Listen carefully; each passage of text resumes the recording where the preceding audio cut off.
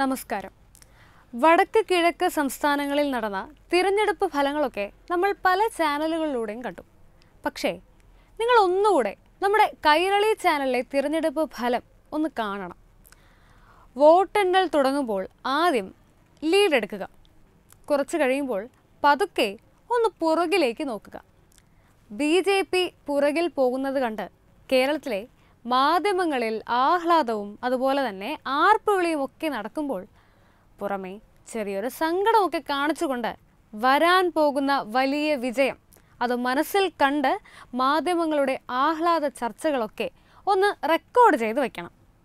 അവർ വിജയിച്ചു എന്ന് അവർക്ക് ഒന്ന് രണ്ട് മണിക്കൂർ നേരത്തേക്ക് ഒരു തോന്നലൊക്കെ ഒന്ന് സൃഷ്ടിക്കുക. അവർ ആഹ്ലാദത്തിന്റെ പരമകോടിയിലെത്തി എന്നുറപ്പാക്കിയതിന് ശേഷം പുറകിൽ നിന്ന് ഒറ്റയടിക്ക് ഒരു കുതിപ്പാണ്. അതായത് അത്രയും നേരം ഉത്സവപ്പറമ്പ് പോലെ ആയിരുന്ന പല ചാനൽ ഫ്ലോറുകൾ അതുമുതൽ ഒരു മരണവീടിന്റെ അതേ ഒരു പ്രതീതിയായിട്ടുണ്ടായിരിക്കും അപ്പോഴുള്ള കേരളത്തിലെ വാർത്താ ചാനൽ അവതാരകരുടെ ദുഃഖമൊക്കെ ഒന്ന് കടിച്ചമർത്തിയുള്ള റിപ്പോർട്ടിംഗ് കണ്ട് പൊട്ടിച്ചിരിക്കണം. റെക്കോർഡ് ചെയ്ത അവരുടെ നേരത്തെയുള്ള ആഹ്ലാദവും പിന്നീട് റിസൾട്ടിന് അറിഞ്ഞതിന് ശേഷം വന്ന ദുഃഖവുമൊക്കെ ചേർത്ത് വച്ച് ഒരു ട്രോൾ വീഡിയോ ഒക്കെ ഉണ്ടാക്കി നിങ്ങൾക്ക് സൂക്ഷിക്കാം.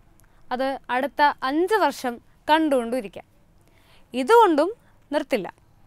പിറ്റേന്ന് വെളുപ്പിനെ എഴുന്നേറ്റ് ദേശാഭിമാനി കാശ് കൊടുത്ത് കൂട്ടത്തോടെ മേടിച്ച് വായിച്ച് പൊട്ടിച്ചിരിക്കണം.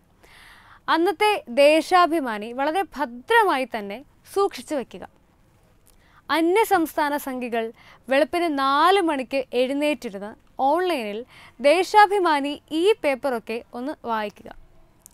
എന്നിട്ട് അതിന്റെ ലിങ്ക് ഡൗൺലോഡ് ചെയ്ത് വയ്ക്കുകയും വേണം. ഇവരൊക്കെ ഇത് ഇന്നും ഇന്നലെയും തുടങ്ങിയതല്ല കുറേ നാളായിട്ട് ചെയ്യുന്നതാണ്.